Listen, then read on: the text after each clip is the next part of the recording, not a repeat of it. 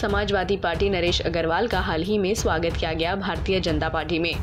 इस बारे में प्रेस से बात करते वक्त उन्होंने जया बच्चन के खिलाफ आपत्तिजनक शब्दों का इस्तेमाल किया। उन्होंने कहा, एक फ़िल्म एक्टर के सामने मुझे नीचा दिखाया गया। उसी के वजह से मुझे टिकट नहीं मिला। ये बात मुझे अच्छी नहीं लगी। मुझे बस बीजेपी के लिए काम करना है। राज्यसभा में टिकट के लिए मेरे कोई शर्तें या कोई मांगे भी नहीं है। नरेश अग्रवाल का ये बयान कईयों को अच्छा नहीं लगा। ट्विटर पर लोगों ने नरेश अग्रवाल को कड़ी से कड़ी शिक्षा देने का निवेदन किया है, ताकि उन्हें सबक मिल सके। अब देखना ये है कि बीजेपी इस पर कैसे कदम उठाती है। बॉलीवुड की कुछ और खास खबरों के लिए हमें लाइक सब्सक्राइब और शेयर करना ना भूलें।